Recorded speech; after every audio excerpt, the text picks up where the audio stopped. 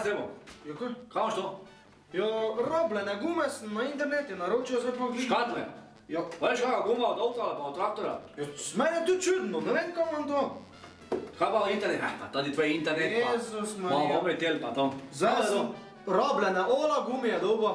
Jezus Kristus Marija. Pa ve mene bara, ki veš kaj jaz gledam, jaz ogromno nucam, ki ima da boli kako lukno, a, na traktorje pa na avte. Vulkanizerstvo Dajčman. Oni ti naredijo vse, kar češ. Pa če dolgo čakaš, če je gužva, še ti avto perejo zmes. Zato pa se polni pamet pahljena. Dajčman, vulkanizerstvo.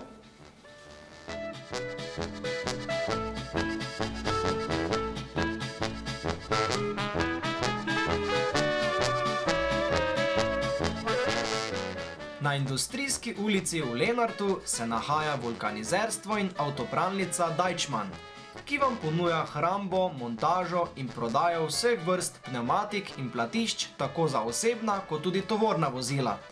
Obenem pa vam vaše vozilo od zunaj in znotraj temeljito očistijo.